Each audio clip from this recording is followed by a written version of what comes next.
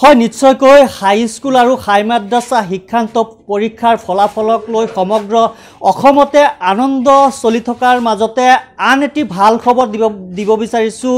My news এৰিৰ দৰ্শকসকলক কিয়নো অতি দুখীয়া আৰু দৰিদ্ৰ পিতৃশালা এগৰাকী ছাত্ৰীয়ে সমগ্ৰ অসমৰ ভিতৰতে হাই মাদ্ৰাছা শিক্ষান্ত পৰীক্ষাত তৃতীয় স্থান লাভ কৰিবলৈ সক্ষম হৈছে। আৰু লখিমপুৰ জিলাৰ দৌলতপুৰ উচ্চতৰ মাধ্যমিক বিদ্যালয়ৰ ছাত্ৰীগৰাকী বৰ্তমান দেখা গৈছে আনন্দ উল্লাসৰ মাজত সম্বৰ্ধনা জ্ঞাপন কৰিছে একাংশ শিক্ষক শিক্ষয়িত্ৰীৰ লগতে অভিভাৱকসকলে বৰ্তমান সময়ত এই বিদ্যালয়খনত আহি উপস্থিত হৈছে। বিভিন্ন দল সংগঠনৰ নেতা কৰ্মী আমি পোনপটীয়াকৈ দেখুৱাই আছোঁ মাই নিউজ এনিৰ দৰ্শকসকলক। আৰু মোৰ সৈতে বৰ্তমান উপস্থিত আছে শ্বাহানাজ পাৰভিন যিহেতু অতি দৰিদ্ৰ আৰু দুখীয়া ঘৰৰ ছাত্ৰীগৰাকীয়ে বহু কষ্ট স্বীকাৰ কৰি বৰ্তমান সময়ত সমগ্ৰ অসমৰ ভিতৰত তৃতীয় স্থান লাভ কৰিবলৈ সক্ষম হৈছে। মই তেখেতৰ পৰা পোনপটীয়াকৈ জানিব চেষ্টা কৰিম। কি ক'ব কেনেকুৱা অনুভৱ বৰ্তমান সময়ত? মোৰ আজি বহুত ভাল লাগিছে। বহুত আনন্দিত হৈছোঁ কাৰণ এটা ভাল ৰিজাল্ট কৰিব পাৰিছোঁ। কিমান ঘণ্টা তুমি পঢ়ি এনেকুৱা এটা ভাল তুমি ফলাফল লাভ কৰিবলৈ সক্ষম হৈছে? মই দহ এঘাৰ ঘণ্টা পঢ়িছিলোঁ। দহ এঘাৰ ঘণ্টা পঢ়িছা ন? তোমাৰ ভৱিষ্যত কি পৰিকল্পনা আছে? কি হোৱাৰ আশা আছে? যদি চৰকাৰৰ ফালৰ পৰা কিবা সুবিধা দিয়ে তেন্তে মই ডক্তৰ হ'ম বুলি ভাবিছোঁ। ডক্টৰ এটা কথা তুমি গম পাইছানে নাযাওঁ? সমগ্ৰ অসমতে মাদ্ৰাছা বন- বন্ধ কৰাৰ এটা পৰিকল্পনা চৰকাৰে হাতত লৈছে। এই ক্ষেত্ৰত তুমি কি ক'বা? চৰকাৰে এই পৰিকল্পনাটো আকৌ বিবেচনা কৰিব লাগে এইটোৱে মই ক'ম আকৌ বিবেচনা কৰিব লাগে। হয় নিশ্চয়কৈ এটা কথা ক'বই লাগিব অসম চৰকাৰে মাদ্ৰাছা বন্ধ কৰাৰ যি পৰিকল্পনা হাতত লৈছে এক প্ৰকাৰৰ এই পৰিকল্পনা বিবেচনা কৰিবলৈ চৰকাৰক আহ, আহ্বান জনাইছে ছাত্ৰীগৰাকীয়ে অতি মেধাৱী ছাত্ৰীগৰাকীয়ে চৰকাৰলৈ এনেধৰণৰ আহ্বানে আচলতে চৰকাৰে কেনেকুৱা ভূমিকা পালন কৰিব মাদ্ৰাছাৰ শিক্ষা গ্ৰহণ কৰি যে এগৰাকী শিক্ষাৰ্থীয়ে ডক্টৰ ইঞ্জিনিয়াৰ হ'ব পাৰে তাৰে কথা ব্যক্ত কৰিছে আমি এই দৌলত তাৰে কথা ব্যক্ত কৰিছে আমি এই দৌলতপুৰ উচ্চতৰ মাধ্যমিক বিদ্যালয়ৰ প্ৰধান প্ৰধান শিক্ষক আছে আমি তেখেতৰ সৈতে কথা পাত দৌলতপুৰ উচ্চতৰ মাধ্যমিক বিদ্যালয়ৰ অধ্যক্ষ আছে আমি তেখেতৰ সৈতে কথা পাতিব বিচাৰিম। ছাৰ কি ক'ব এনেকুৱা আনন্দৰ মুহূৰ্তত? মোৰ আজি আনন্দত মানে এনেকুৱা লাগিছে যে মোৰ মুখেৰে কথা ওলোৱা নাই এনেকুৱা এটা অৱস্থা হৈছে। সঁচাকৈ আজি বহুত ভাল লাগিছে বহুত আনন্দিত হৈছোঁ যে দুহেজাৰ পোন্ধৰ চনত আমাৰ এগৰাকী ছাত্ৰীয়ে ষ্টেণ্ড কৰিছিল। এইবাৰ শ্বাহনাজ পাৰবিনে তৃতীয় স্থান দখল কৰিবৰ কাৰ- কৰিবৰ কাৰণে সক্ষম হৈছে।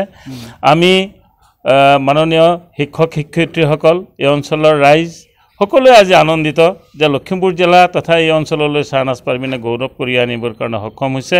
বিশেষকৈ আমাৰ বিদ্যালয়ৰ মাননীয় শিক্ষক শিক্ষয়িত্ৰী আমাৰ ছাত্ৰ ছাত্ৰীসকল আমি নিজে বহুত আনন্দিত আৰু শ্বাহনাজ পাৰবিনক আমি ধন্যবাদ জ্ঞাপন কৰিছোঁ আৰু সকলোৰে হৈ মই শ্বাহনাজ পাৰবিনৰ উজ্জ্বল ভৱিষ্যত মই কামনা কৰিছোঁ। মই পুনৰ শ্বাহনাজ আহ, পাৰভিনৰ সৈতে কথা পাতিম। তুমি এই সফলতাৰ আঁৰত কোন কোন ব্যক্তি জড়িত আছিলে? বহু কষ্টৰ স্বীকাৰ কৰিব লগা তুমি এক পৰিস্থিতিৰ সন্মুখীন হৈছিলে।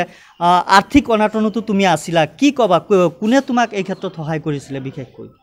মোৰ মা প্ৰথমে মোৰ মায়ে মোক বহুত সহায় কৰিছে। মোৰ মায়ে মোৰ যথেষ্ট মানে যি লাগে মোক দিবলৈ চেষ্টা কৰিছে তৃতীয়তে দ্বিতীয়তে মোৰ শিক্ষাগুৰুসকল তৃতীয়তে মোৰ পৰিয়ালবৰ্গই মোক সহায় কৰিছে।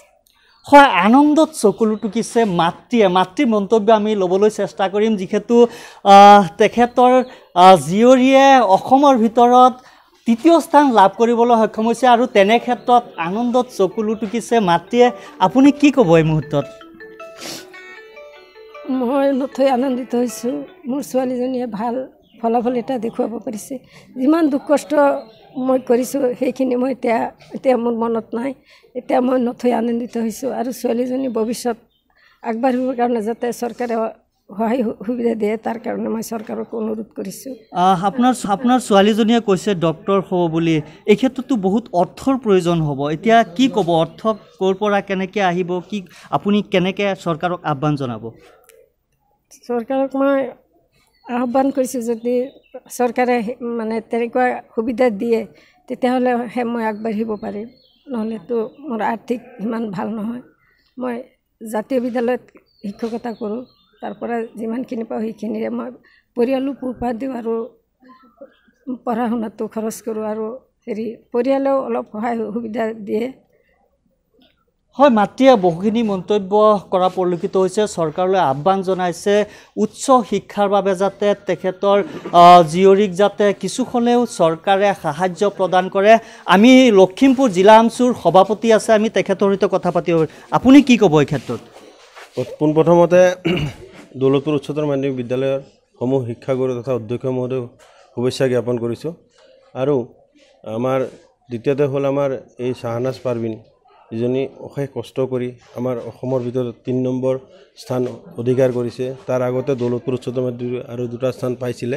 কিন্তু এইবাৰ কিন্তু সৰ্বোচ্চ নম্বৰ লৈ পেলাই তেখেতে আমাৰ ইছলামপুৰ ব্লকৰ তথা এই পিছপৰা সংখ্যালঘু সংখ্যালঘু এলেকাৰ পৰা তেখেতে আমাক গৌৰৱান্বিত কৰিছে। যিহেতু এইখন বিদ্যালয়ৰ আমি প্ৰাক্তন ছাত্ৰ আমিও গৌৰৱান্বিত যে তেখেতে যে আমাৰ এই বিদ্যালয়ৰ নাম যে উজ্জ্বল কৰিছে তেখেতে উজ্জ্বল ভৱিষ্যত কামনা কৰিছে। আৰু এটা কথা চৰকাৰে যি মাদ্ৰাছাৰ ওপৰত যি কথা কৈ আছে এই মাদ্ৰাছাত আমি জানো আমি নিজে পঢ়ি গৈছোঁ। ইয়াত অকল আৰবিকে পঢ়া নহয় আপোনাৰ সকলো ধৰণৰ সকলো বিষয় বিষয় আছিলে। আৰু তেখেত চৰকাৰে যিটো পদক্ষেপ লৈছে আমি চৰকাৰক আমি অনুৰোধ জনাইছোঁ যাতে তেখেতে আকৌ বিবেচনা কৰি যাতে আমাৰ সংখ্যালঘু এলেকাৰ পৰা তথা আমাৰ অসমৰ যি আমাৰ স্কুল মাদ্ৰাছা বন্ধ কৰিম বুলি কৈছে আকৌ পুনৰ বিবেচনা কৰিবৰ কাৰণে অনুৰোধ জনাইছোঁ। আৰু এটা কথা কৈ দিওঁ যে আমাৰ লখিমপুৰ জিলাৰ শ্বাহনাজ পাৰবিনে একেবাৰে দৰিদ্ৰ পৰিয়ালৰ ছোৱালী হয়। তেখেতে অশেষ কষ্ট কৰি মাকে ব্যক্তিগত খণ্ড এখন স্কুলত তিনি হাজাৰ পঁচিছশ টকাৰ দৰমহাত তেখেতে পঢ়াইছিলে। অশেষ কষ্ট কৰিছে।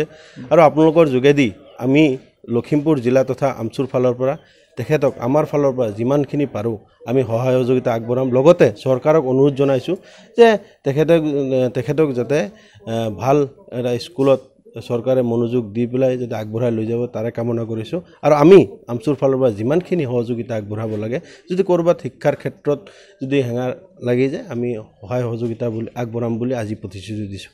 হয় শ্বাহনাজ পাৰবিনৰ এনেধৰণৰ সফলতাৰ বাবে সকলোৰ মুখত কেৱল আনন্দ দেখা গৈছে। শিক্ষক শিক্ষয়িত্ৰীসকল পুৱাৰে পৰা আহি বিদ্যালয়ত উপস্থিত হৈ শ্বাহনাজ পাৰবিনক সম্বৰ্ধনা জ্ঞাপন কৰা পৰিলক্ষিত হৈছে। আমি আশা কৰিম শ্বাহনাজ পাৰবিনে আহ, শিক্ষাৰ উচ্চ শিখৰলৈ আগবাঢ়ি যাওক আৰু তেওঁৰ যি আশা যি আকাংক্ষা তেওঁ সফলভাৱে যাতে সমাধান কৰিব পাৰে তাৰে আশা কৰিছোঁ। আৰু আপোনালোকে চাই থাকক মাই নিউজ এনি ধন্যবাদ।